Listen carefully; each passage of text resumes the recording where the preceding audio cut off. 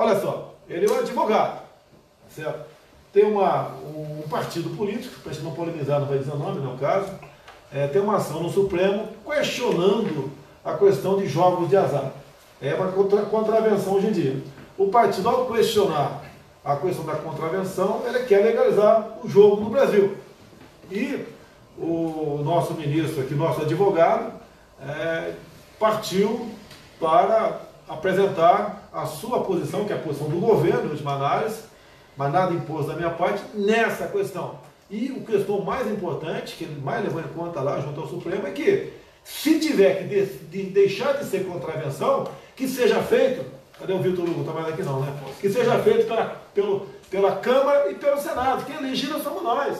Não, nós não consideramos justo, tá certo?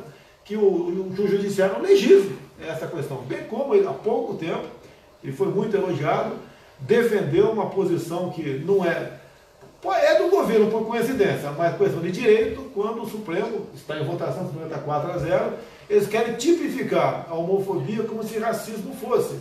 Ou seja, o Supremo estaria ressuscitando aquele famigerado PLC 122, a questão da homofobia, que o pessoal lembra muito bem como foi tratado no passado, e o parlamento decidiu que, ao não legislar, estava legislando. Porque não tomar posição no assunto também faz parte do parlamento. É isso daí. Então, André, por favor, fala a questão da, da, da do jogo de azar no Brasil, que você tomou sua posição em nome do governo é, junto ao Supremo Tribunal Federal no dia de hoje. Obrigado, presidente. Essa é uma questão importante, social, que afeta o dia a dia da sua vida, em vários sentidos. Primeiro, o jogo de azar é uma porta de entrada para lavagem de dinheiro, atividades ilícitas, é, ocultação do patrimônio ilícito.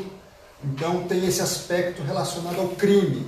Um outro aspecto importante, social, gera o vício. Quantas histórias você já ouviu de pessoas que se apegaram ao vício, perderam seu patrimônio, deixaram sua família na miséria, sem seu filho poder estudar adequadamente, levar dinheiro para casa, com comida, com educação. Então nós não podemos aceitar que o jogo de azar venha a ser lícito. E foi isso que nós nos opusemos no Supremo Tribunal, defendendo que há uma ilegalidade no jogo de azar defendemos isso, vamos continuar defendendo, mas ainda que houvesse alguma possibilidade de discussão do assunto, caberia, como disse o presidente, ao Congresso Nacional. Então, presidente, seguimos firme nessa defesa perante o Supremo quanto à ilicitude, à ilegalidade do jogo de azar.